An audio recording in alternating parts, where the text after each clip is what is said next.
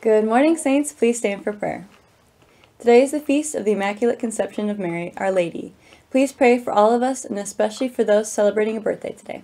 Happy birthday today to Haley Colvin, Joseph Ephraim, and Anna Maria Villalobos. Let us pray. In the name of the Father, and the Son, and the Holy Spirit. Amen. God our Father, you created a perfect vessel for your Son, but you gave Mary the choice to participate in your love.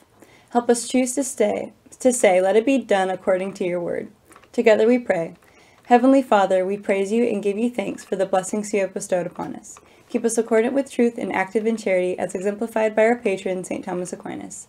We ask this through Christ our Lord. Amen. Name of the Father, and the Son, and the Holy Spirit. Amen. Please join me as we honor our flag and country.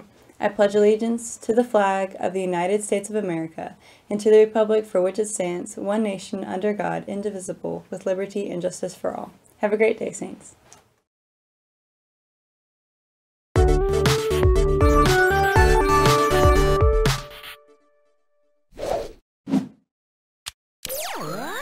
Good afternoon, Saints. Welcome back to the Halo Midday Show. Today is Tuesday, December 8th, 2020, and the 10th day of Advent. After school detention will begin at 12:25 today and tomorrow due to the 12:15 dismissal. Thursday after school detention will begin at 3:10. Morning detention begins at 7:15 Thursday morning. Today's saint of the day is our Saint Lady, Our Lady Immaculate Mary. Today we recognize Mary as the first person to be created since Eden without original sin.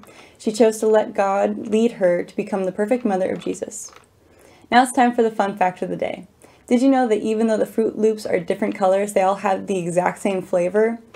And they must have tricked us because I really thought that they were different flavors. Anyways, thanks for watching today's Midday Show. We'll be back tomorrow with more announcements. I'm Emma. Don't forget, we'll find a way to make today great.